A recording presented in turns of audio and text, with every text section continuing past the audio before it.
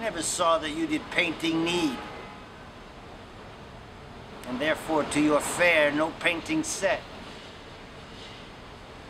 I found, or thought I found, you did exceed the barren tender of a poet's debt. Therefore have I slept in your report, that you yourself, being extant, well, might show how far a modern quill hath come too short.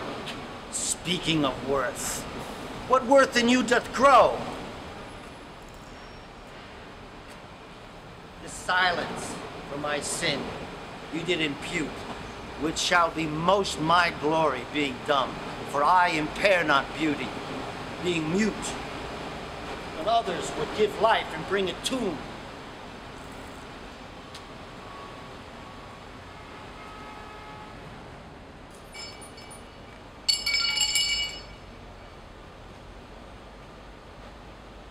There lives more life in one of your fair eyes than both your poets can in praise devise.